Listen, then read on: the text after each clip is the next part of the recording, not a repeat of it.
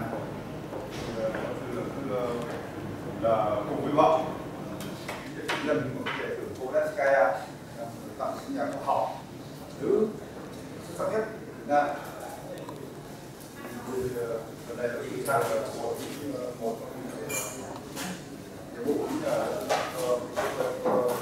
Kodanskaya nhưng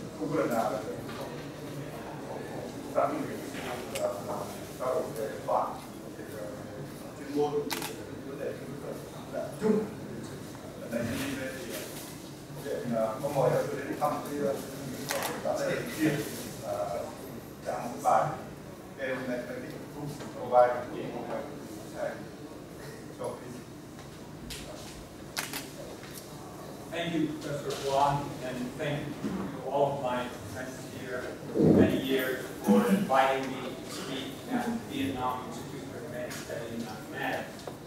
I will talk about whether mathematics can provide good models to society.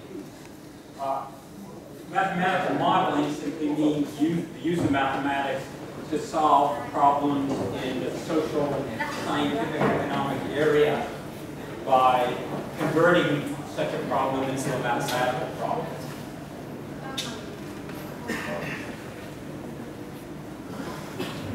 An early example of mathematical modeling in Vietnam uh, I'd like to take from my interview with Professor Hoang Tuy the mathematical intelligencer. This was in 1969. He was asked to apply operations research, Van Tru, to reduce the lines of people waiting for beer. And this is one of my uh, favorite parts of the interview. Uh, uh, Professor Hoang Tuy described uh, his meeting with uh, a committee, including Pham Dong and President Ho Chi Minh, to discuss this issue. And I particularly liked the story about how after the meeting, President Ho Chi Minh came up to him and asked him about the word Van Tru and why he was using that word. And he explained that he, it was borrowed from his Chinese colleagues. It was the word used in China. And Ho Chi Minh asked him if he knew uh, where the Chinese mathematicians got the word. And he didn't. But Ho Chi Minh knew classical Chinese literature and explained that the word Van Tru came from, uh, from uh, a work of ancient Chinese literature and described a type of art form, intricate art form that was thought to be similar to operations research some way. I really like this story because it shows that Ho Chi Minh was interested in the mathematics, not only for purposes of solving the particular problem, but also because he was interested in the introduction of words into the Vietnamese language for the, the purposes of modern science and technology. And so uh, the, the use of words coming into Vietnamese language and mathematics was also a cultural process uh, that he was interested in. Well, anyway, uh, what Hoang said was that suggestions were actually implemented, and they did decrease the beer lines for a while, but then the bombing of Hanoi resumed. There were tremendous organizational difficulties, and everything is back to where we started. Well, this uh, experience with the beer lines actually illustrates some typical features of mathematical modeling. Uh, first of all, mathematics can, in fact, uh, sometimes give a practical solution to problems and be very useful. However, most of the social problems that mathematics can solve are relatively minor ones. It is at that time some of the more important tasks, such as shooting down American warplanes, were done without mathematics. So the, so the, the, the uh, problem was an important one, but it was a relatively minor one. Uh, of, of, uh,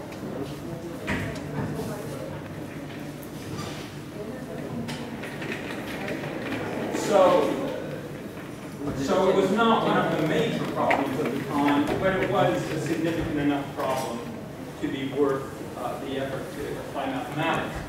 Thirdly, uh, very often if the solution seems to work well for a while, in the long run certain other factors come in unrelated to the model that cause the solution to become useless. In this case, of course, it was the U.S. bomb So unfortunately, in general, the most important problems for mathematical modeling are also the most difficult and the most controversial.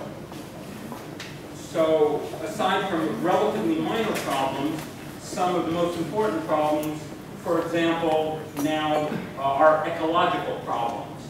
Predictions about global climate change, estimates of uh, carbon sequestering. Uh, I, I know a mathematician in Jamaica who is trying to apply mathematics to estimate the carbon sequestration of the forests of Jamaica.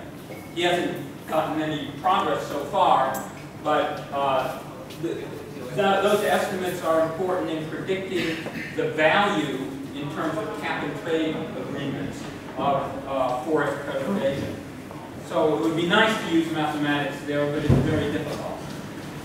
Uh, predictions of the impact of environmental stress on, on the world's forests, on the coral reefs, and other ecosystems. Uh, people are trying hard to apply mathematics in those areas, but it's very difficult, and sometimes the results are very controversial. Weather prediction is a notoriously difficult area for mathematical modeling.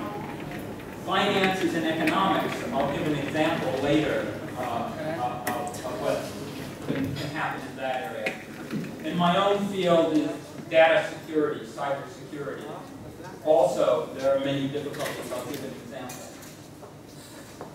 So, on the one hand, mathematicians should try to uh, teach the public about the ways in which mathematical models can help solve problems. Uh, and, I'll, and I'll mention a couple a couple of suggestions related to that. So, so I think mathematicians should uh, talk about the positive ways the mathematical models can be used. I think on the level of the general public, it would be good to slowly introduce more practical problems into math courses, into in university entrance exams. Uh, I think in Vietnam, young people often see mathematics as simply an obstacle that must be overcome in order to gain admission to a university. And then after they get into the university, they no longer believe that mathematics is necessary for their lives. And I, I think students should learn, and the general public should learn, that mathematics is a basic tool for a scientist, engineer, or any well-educated citizen. I, I think it would help uh, improve public understanding of mathematics if the school program in mathematics included more practical examples, and also if the university entrance exams did. Uh, a second suggestion is to have, for universities to have Vietnamese teams participate in the mathematical contest in modeling, which is an international contest uh, that is for undergraduate level students, university students. Now this contest is very different from the Olympiads. Uh, first of all, it's online. It, there's no physical meeting. Uh, that means it's less expensive. It actually, to register a team costs $100. And then of course there's no travel.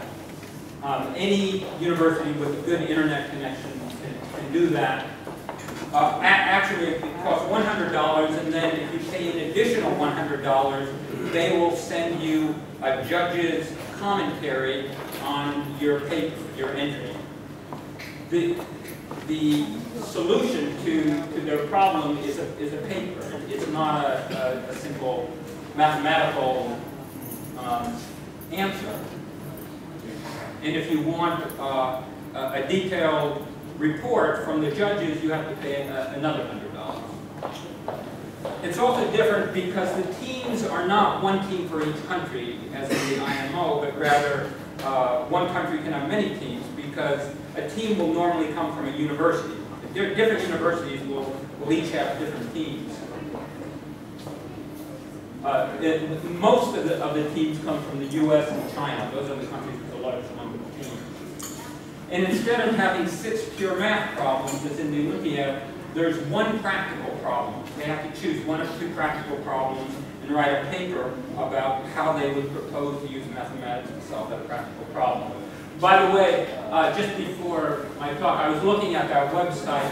If you go to, uh, at the side of that, of the webpage where it says previous contests, and click there, you can look at the different years, the different problems that were proposed. And they're quite interesting and quite entertaining. And you'll see that the flavor of this contest is totally different from what you and I are used to. That is totally different from Math Olympiad type problems. when it was uh, organized for the first time. Oh, I think it's been about 10 years, maybe a little more, probably more. I've only known about it for about 10 years. My university has done quite well it. We have one of our faculty members, one of my colleagues, is very dedicated to uh, acting as a coach, a trainer for, for our team. Some years we even had two teams from my university, and uh, a few times they've won prizes. But I've known about it for about 10 years, maybe a little less, but I think it's been in existence longer. Now, in addition, so that's on the one hand, I think it's good to educate the public about the importance of mathematics in solving practical problems. But on the other hand, I think it's equally important for mathematicians to educate the public about what mathematics cannot do. Uh, when I talked about the role of the Vietnam Institute for Advanced Study in Mathematics in, a BBC interview, uh, I said that it, it's good to encourage mathematicians to consult for industry, but at the same time, uh, it's important to have a type of quality control that mathematicians are in a good position to uh, insist upon. In other words, when people uh, want to or claim to apply mathematics in industry, that must be based on a solid scientific foundation and not on exaggerated uh, or over-optimistic thinking. Uh, that is, uh, the general public and also uh, leaders of industry should not be given an exaggerated picture of what mathematics can do. In fact, sometimes the most valuable role a mathematician can, can play is to criticize inappropriate uses of mathematics. And sometimes this is even more important than, than anything else. Uh, so, uh, by analogy, very often medical doctors uh, and researchers will devote a lot of time and energy to opposing fraudulent treatments and, and uh, false so-called cures for serious diseases. That's an important role of the medical profession, actually, to combat uh, fraudulent uh, treatment claims. And so uh, one example of the way that a mathematically trained person can make a, a, a contribution to society is to expose deceptive uh, statistics. So I have a book here, a very old book that I'll, I'll leave here for people who are interested at the Institute, uh, called How to Lie with Statistics. It's uh, over 50, almost 60 years old.